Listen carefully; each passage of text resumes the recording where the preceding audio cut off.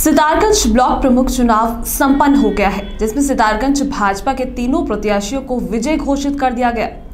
विजय प्रत्याशियों ने ढोल बाजे के साथ शहर में जुलूस निकाला। हम पूरे क्षेत्र का विकास करेंगे और जनता के सहयोग से आगे भी हर जहाँ भी कोई भी काम हम करना होगा तो वहाँ पे सारे काम करेंगे।